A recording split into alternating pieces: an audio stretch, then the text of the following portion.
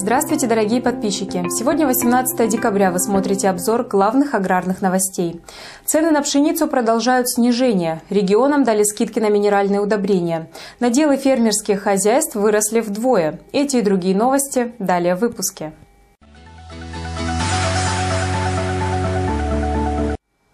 Мировые цены на пшеницу продолжают падать вторую неделю подряд. Очередное снижение спровоцировал доклад Минсельхоза США, который вышел 11 декабря. Ведомство в очередной раз пересмотрело оценки по урожаю и потреблению зерна и спрогнозировало, что в ближайшее время запасы повысятся. В результате понизились котировки на всех мировых биржах. Снизились на прошлой неделе и экспортные цены на российскую пшеницу. Вы видите на экране, какие оценки дают разные аналитики. По данным Савакона, на внутреннем рынке цена на пшеницу третьего класса упала до 15 200 рублей за тонну, на пшеницу четвертого класса до 15 100 рублей за тонну, самовывозом для европейской части России.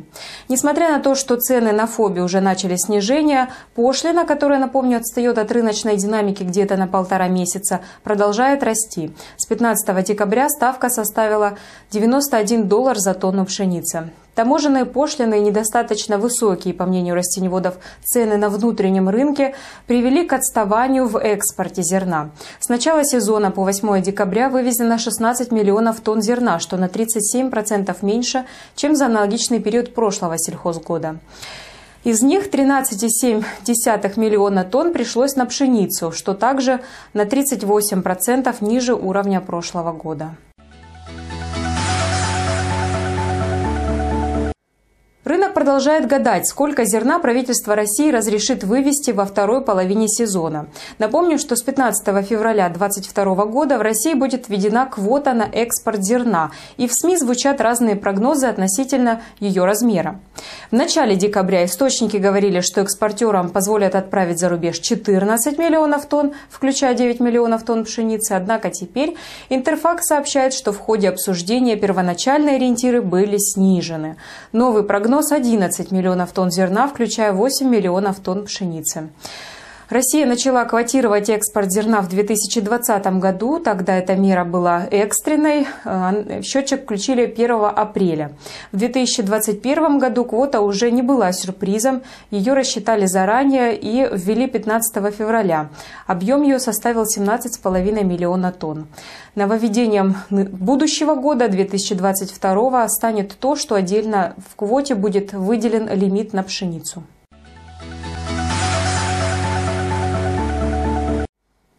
На этой неделе в сети появился интересный и неоднозначный документ – постановление правительства России номер 2234, которое позволяет региональным властям заключать соглашения с производителями удобрений на поставку их продукции по льготной цене.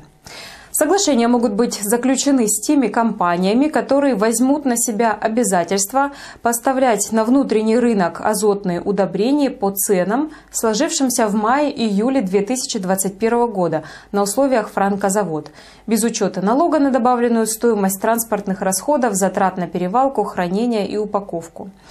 Удобрения по фиксированным ценам могут быть проданы сельхозпроизводителям или дистрибьюторам, но при условии, что торговая наценка дистрибьюторов составит не более 5% от цены производителя.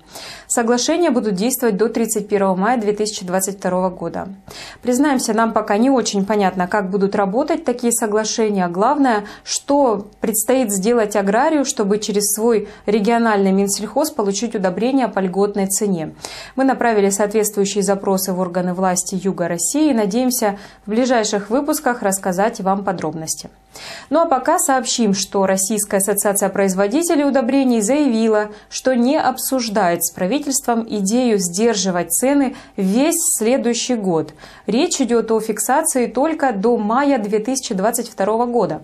Впрочем, владелец Уралхима и Уралкалия Дмитрий Мазепин сказал журналистам, что правительство сделало намек о возможной фиксации цен до начала 2023 года.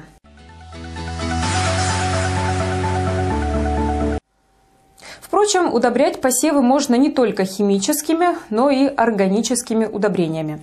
Мы не будем гадать, подтолкнула ли к этому э, конъюнктура рынка или другие соображения, но Минсельхоз и Минпромторг стали обсуждать возможность перерабатывать в удобрения пищевые отходы, еду из ресторанов, просроченные продукты. Вице-премьер Виктория Абрамченко поручила ведомствам изучить этот вопрос и доложить ей.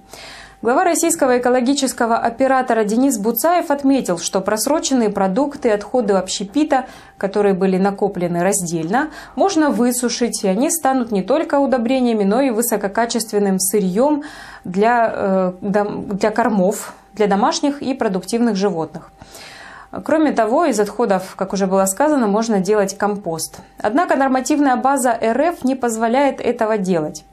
Минсельхоз, в свою очередь, прокомментировал газете «Известия», что даже с таким традиционным органическим веществом, как навоз, есть сложности. Его можно сделать удобрением, но обращение с навозом регламентирует более 50 федеральных законов и подзаконных актов.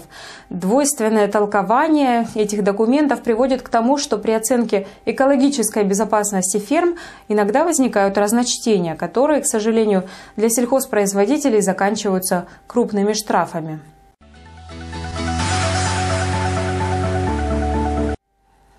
Еще к вопросу об органике. Власти Краснодарского края намерены разработать меры административной ответственности для аграриев, которые нарушают закон о плодородии почвы.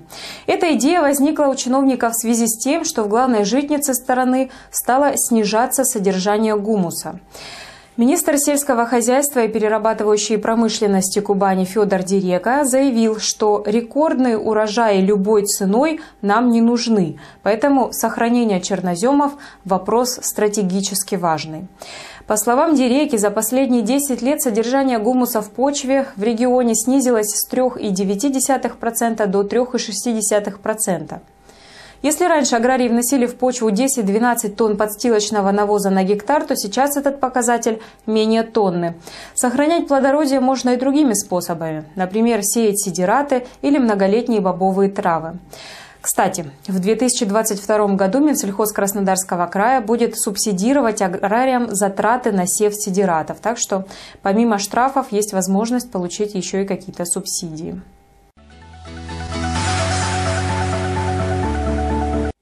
Росстат вовсю готовится опубликовать первые результаты сельскохозяйственной переписи, которая прошла в августе этого года. Кое-какими данными замглавы ведомства Константин Лайкама уже поделился с журналистами. Например, в 2021 году по сравнению с 2016 годом в два раза вырос земельный банк фермерских хозяйств. Точную цифру чиновник не назвал, но если пять лет назад в среднем на КФХ приходилось 248 гектаров, то теперь, вероятно, надел вырос до 500 500 гектаров в среднем по России. А еще в стране стало больше личных подсобных хозяйств, в некоторых регионах даже на 10%. Лайкама назвал ЛПХ важным звеном продовольственной безопасности, ведь граждане производят, оказывается, до трети всей сельскохозяйственной продукции в стране. Кстати, в следующем году правительство обещает дать господдержку ЛПХ. До сих пор государство ЛПХ никогда не поддерживало, если не брать во внимание отдельные региональные программы. Правда, чтобы получить финансовую помощь из бюджета, гражданам придется зарегистрироваться в качестве самозанятых. А, среди производителей животноводческой продукции на господдержку в первую очередь смогут рассчитывать производители молока, отметил министр Дмитрий Патрушев. Всего в бюджете на следующий год заложено 285 миллиардов рублей на поддержку отечественного АПК. Почти половина этой суммы, 130 миллиардов, будет направлена на малые формы хозяйствования, то есть фермерам и личным подсобным хозяйствам.